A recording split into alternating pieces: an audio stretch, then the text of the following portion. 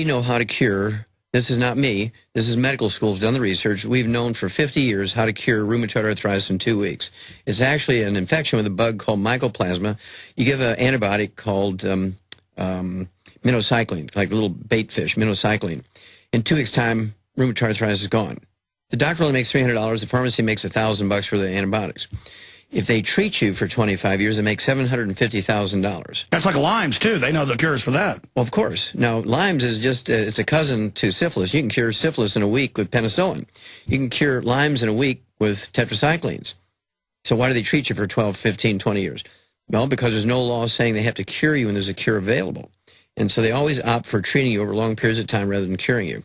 And so this is the difference between them and us. Uh, we actually take the things that are published in medical journals that say this bug can be killed with this antibiotic or this this cartilage can be regrown doing this. We can uh, make you an ex-diabetic by giving you these things. But listen, you know a year and a half ago, I've been promoting this two years. I knew it was good products, but I barely promoted it because I, I hardly ever even plug my sponsors. I'm so busy. My main focus isn't making money, though I need to to fund the operation.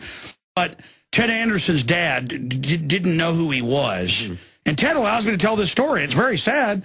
And you know, great guy, whole nine yards.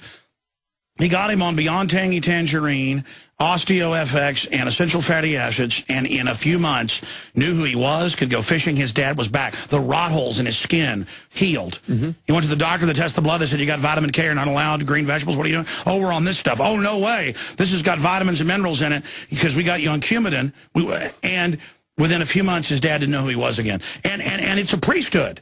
It's like and I don't want to get into, well, Ted has allowed me to say it. His mother, God bless her soul, said, listen, I'm in charge, and this is what we're going to do what the doctor says. Hmm. I mean, that's, that's incredible. Well, this happens all the time, uh, especially with people who are a little older, people over age 60, uh, because they've grown up with doctors being the demigods, right? And whatever the doctor says they're going to do, and they say, well, that's interesting, but, uh, you know, I've got, I got my diabetes under control, I got my high blood pressure under control. So we help people of that age who want help, Alex, but also what we want to do is get kids going uh, before they're conceived. We got to talk to young girls before they're old enough to have their own families. Um, get them taking these nutrients so they'll never have a baby born with Down syndrome or cerebral palsy or cleft palate or muscular dystrophy, cystic fibrosis. We can prevent all that. We've done it in animals. I just use those same principles in humans. It works. So I've been doing it for 35 years. Uh, publish it, and I'm um, still outside of jail, so I can't be saying something wrong for 35 years.